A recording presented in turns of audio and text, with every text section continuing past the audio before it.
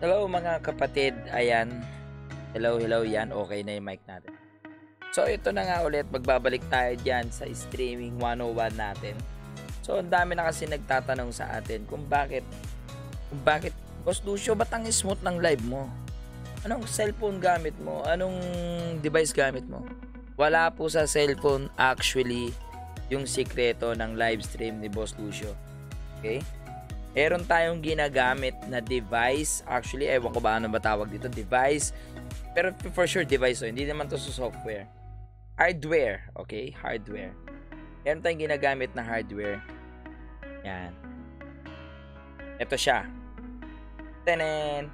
Ang Elgato HD60S. Ito yung ginagamit natin kung bakit ang soft, smooth, and sobrang linaw ng ating stream. Okay? Ano ba ano ano ba tong Elgato na to, guys? Ano nga ba tong Elgato HD60 na to, 'di ba? Ano ba to? Saan ba nabibili to? Okay, nabili ko to, guys, sa tao. Pero ngayon, guys, madali na tong hanapin kasi before nung binili ko to, guys, uh, medyo mahirap siyang hanapin dito sa Pinas kasi or on ano lang siya sa state sa eBay sa Amazon ngayon guys sa Lazada may nakita ako sa Lazada pero may nakita rin ako dyan sa Gilmore. Marami na rin dyan sa Gilmore. Okay? Ito siya, HD60S. Elgato HD60S. So, pag binili nyo to guys, may kasama kayong, ayan, kasamang kahon.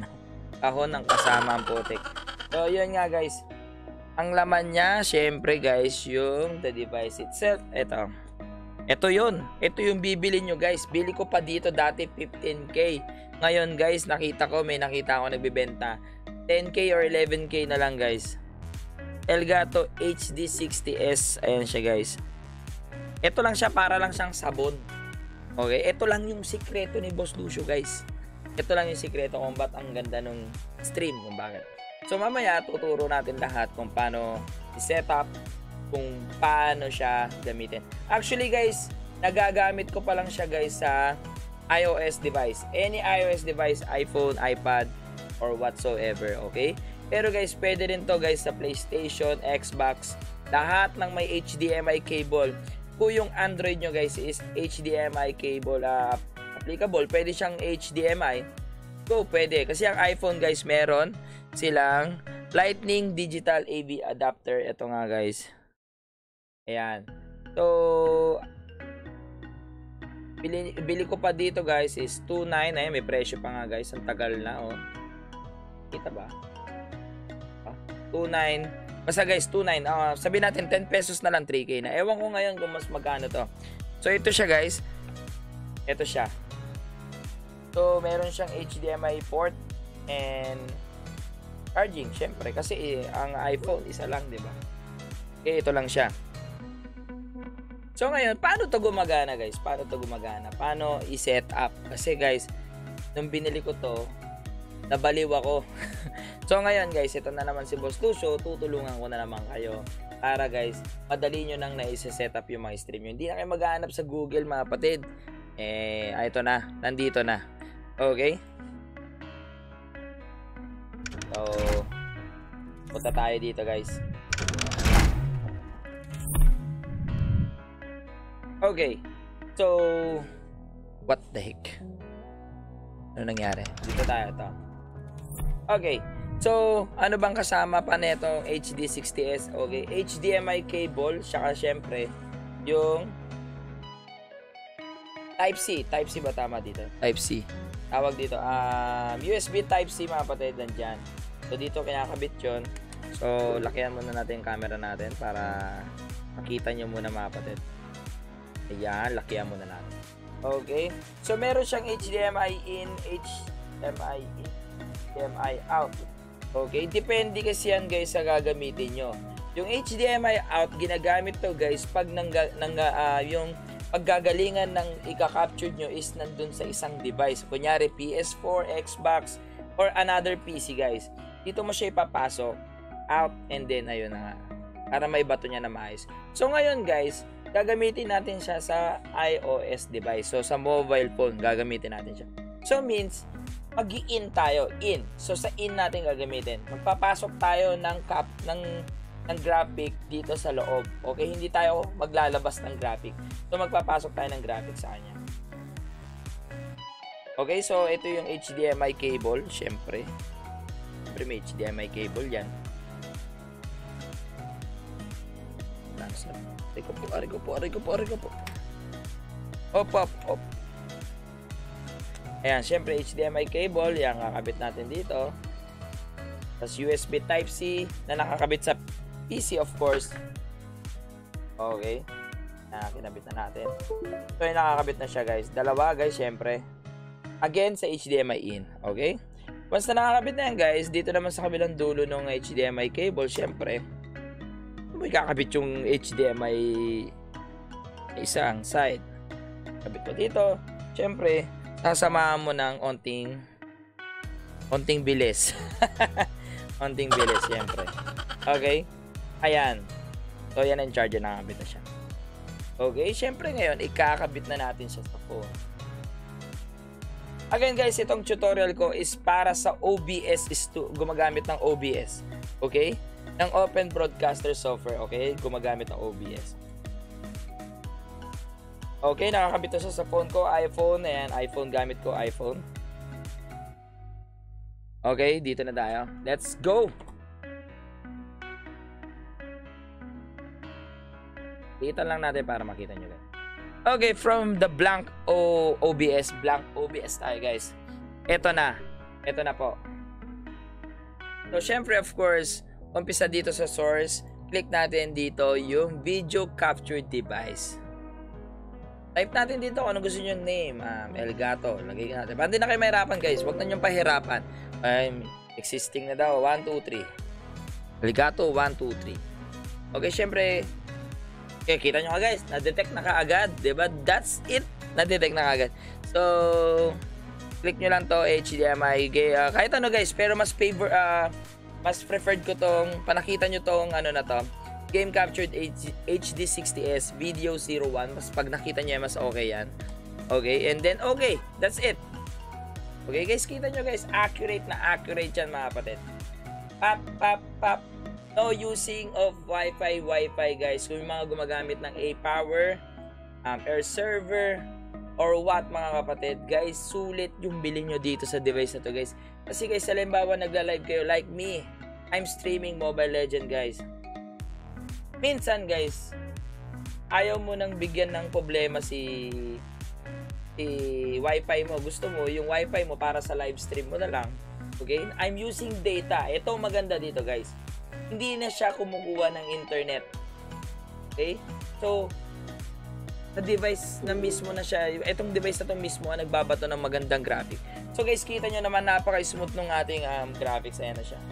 Wala pa kayong sounds na naririnig. Madali lang guys, pag wala kayong naririnig na sound, napakadali lang yan guys. Click nyo lang yung, i-click nyo lang tong uh, gear button dito sa audio mixer nyo sa OBS. I-click nyo lang siya. And then yung advanced audio properties, Then, hanapin nyo yung file name nung nilagay natin guys. Ito nga, Elgato123. And then, click nyo lang yung monitor out and output. Okay, yan. Rinig nyo na yung Mobile Legend. Okay, so ganyan lang siya kasimple mga kapatid. Ganyan lang siya kasimple. Napakaangas din. So ngayon guys, syempre maarte ako. Ayusin ko siya. Okay, gagamit tayo. Ito, i-click natin. I-crop natin. Pwede mong galaw-galawin yan guys. Okay? Click, hold nyo lang yung alt para makrop. I-crop nyo doon sa pinaka gusto nyo guys kasi may existing siyang side. Para pantay na pantay. ba diba, guys? Ayan. Okay. So, pwede ko na siyang ilagay ngayon dito para mas fit siya ngayon. Oh. Oh ha? Oh, panis. Panis mga kapatid. Napaka-smooth na ngayon ni mobile. Kita nyo naman yan. Walang ka-delay-delay yan mga kapatid. Oh. Walang ka-delay-delay yan, guys. Sobrang sulit to, guys. As in, sa lahat ng mga nag-uumpisang streamer, guys, ito yung una kong inexpense ng money na naisip ko talagang na nasabi ko, magagamit ko to na matagal. Hindi ako nagkamali. Hindi ako nagkamali, guys. Hindi ako nagkamali. Hindi ako nagkamali ng binili nung nag-uumpisa pa lang. Medyo pricey talaga siya, guys. Pero guys, isipin nyo naman ito, magsasample tayo, mag-gameplay tayo. Sino bang malakas sa graphics mga kapatid? Yung, yung feeling nyo nagahang yung PC nyo guys. Sino ba? Xborg tayo. Xborg, Xborg. So yun guys. Again guys, uh, my PC is i7 7 Gen. Luma na. And then 16 GB 16 GB RAM. Tapos ang 160 gig ano lang siya SSD tas 1 tera na hard drive. Pumax na natin guys. Am I scary? level no cooldown god Don't mode na natin worry. close lane. I'm just a okay. Kid. lahat na guys. Ayan na Guys, kita nyo naman yan. Kita nyo naman yung mga galawan, guys. Oh, ha? Napaka-smooth. Oh, oh. Oh. Diba, guys? Sarap, man. Kaya ako ako sa inyo, guys. Yan. Wait lang. Demo pa natin konti. I'm super happy with my cyborg. Demo pa natin. Oh, diba? Apoy-apoy lang. Napaka-simple. Quick and easy. Plug and play lang, mga kapatid. Plug and play lang po. Plug and play lang. Napakadaling gamitin. Napakadaling Why gawin. should I care for anyone else? So yun nga guys, napaka-simple lang naman. And then syempre, shoutout tayo doon sa mga nag-comment. Guys, hindi ko naman to magagawa guys kasi dahil lang naman sa request ng mga dun sa previous video natin na how to stream using the OBS o mga kapatid. Ang daming nag-comment doon sa akin kung bakit ang ganda ng smooth, ang ang ganda ng smooth. ang ganda at ang smooth ng stream natin. So ito guys, I'm giving you a tips again. Again guys, worth it ito para sa mga gusto mag-stream mga kapatid. The Elgato HD60S mga kapatid. Okay, it's uh, dalawa to actually. Dalawa to. Meron pa tayong tinatawag na Elgato HD 60 Pro mga kapatid. Yung Pro naman is kinakabit siya doon sa PC, sa mismong loob ng PC, sa ilalim ng video card. Hindi, ewan ko anong tawag doon sa slot na yon pero may tawag doon guys. Hindi ako masyadong techie about sa mga... Uh, techie naman ako pero di ko kabisado yung mga word, yung mga name ng slots, hindi ko kabisado. So yun, doon kinakabit yung HD60 Pro. Pero to guys, yung HD60S, pwede mo siyang dalhin. Halimbawa guys, feeling mo, mapapainom ka sa kapitbahay mo. Eh may PC naman siya, eh gusto mo mag-stream doon. Madadala mo to doon and then guys, use this uh, the Elgato HD60. Napakasimple lang guys, napakasimple. Again guys, pag bumili kayo nito, make sure bumili kayo ng adapter. Ito yung isa sa medyo masakit and then guys, worth it din. Huwag kayong bibili ng peke, please mga kapatid. Magagaya kayo sa iPhone 6S ko guys, lumobo yung baterya, nagkanda sira-sira. Ito guys, 2 years na, sobra. Sobrang sulit guys, sobrang sulit. Lalo na sa mga nag-uumpisa mag-stream. Sobrang sulit na itong um, ito, ito, ito, ito, itong dalawang to. Dahil gato, medyo pricey talaga siya kung susumahin natin guys. Har nung binili ko to guys, nasa 18,000 bali gastos ko. Shit. Para sa dalawang to. Pero ngayon guys, alam ko 1.8 na nga lang ito guys. Meron pa ako nakita nagbebenta nito guys sa online sa Facebook. 500 na lang putek. Putek na yan, 500. 500 na lang siya, men. Hindi ko alam kung original yon pero gantong ganto, hindi ko alam. Ngayon, gusto kong bumili ng extra just in case maputol ito para syempre may ready ako. And then, ito nga. Ito yung guys, yung sobrang saya ko sa item na to. Wala siyang laman. Sobrang saya ko sa item na to, guys. Pwede siya sa PS4, lahat, Xbox. Ayan. Okay? May makikita naman kayong tutorial na ito sa YouTube, guys. Marami naman tutorial. Pero ayun nga, guys. Marami kasing nakasubscribe sa atin na nag-aantay nung uh, kung paano. But sila, guys, ang lag ng stream nila, eh ako ang smooth. Ito po ang sikreto ko. Again, the Elgato HD60S, mga kapatid. Again, HD60S, hindi HD60 Pro.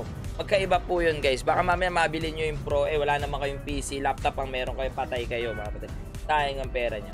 So, guys, I hope na nakatulong ulit ako, guys, sa inyo about sa streaming. Comment lang kayo, guys, and then subscribe kayo sa YouTube natin. Mag-uumpisa na tayo mag-vlog. So, subscribe lang kayo. And then, comment nyo lang kung ano pang gusto nyo lahat. Willing akong ituro. And then, guys, don't hesitate to message on my Facebook page or manood kayo minsan ng stream ko, magtanong kayo doon regarding sa mga stream na mga gusto nyo. Like ng mga ibang ibang tao. Ganun yung ginagawa, guys. Nakakatawa lang, guys. Minsan, nagulat ako, artista pa yung nag-message sa akin. Napanood ko yung YouTube channel mo. Paano magpa ganito, ganyan, ganyan. Nakakatawa lang, guys. Nakakatawa lang. Okay, again guys. Thank you sa inyo guys. Ito guys, this is starting November or December guys. I'm starting this, uh, ito YouTube. Magiging active na tayo sa YouTube. Kaya hindi na tayo lalo matutulog, magtatrabaho, live stream. YouTube pa. Panes. Ginagawa mo. Panes. Panes. Okay guys, bye-bye. See you. Next tayo, um, gagawa ulit ako ng video. Antayin nyo na lang yung next natin. About streaming 101 ulit. Okay guys, see you guys. Peace.